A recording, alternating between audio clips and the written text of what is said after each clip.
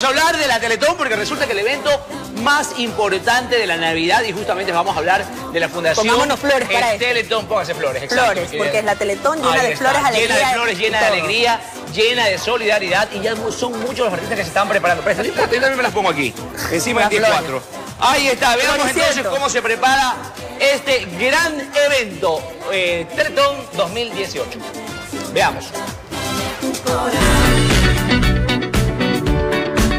Edición número 27, la Fundación Teletón, como cada año, en el evento artístico más importante del país, para recaudar fondos, reúne a muchos artistas nacionales e internacionales. El próximo sábado primero de diciembre en el Teatro Centro de Arte, con la finalidad de seguir ayudando a los niños más necesitados del Ecuador.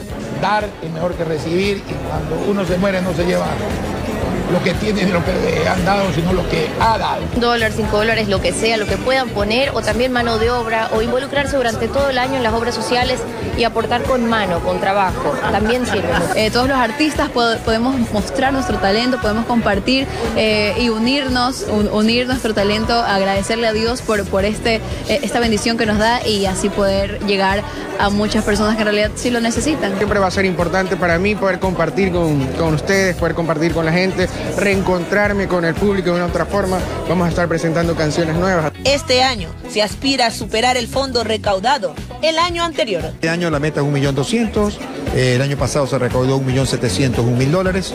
Esperamos que con la colaboración de todos los medios de comunicación, de la ciudadanía en especial, de los ecuatorianos en general y en especial de RTS con su colaboración permanente que la tiene y nos ha hecho desde hace muchísimos años ¿no? la producción, eh, este año superar la meta primero y superar también los recaudados del 1.700.000.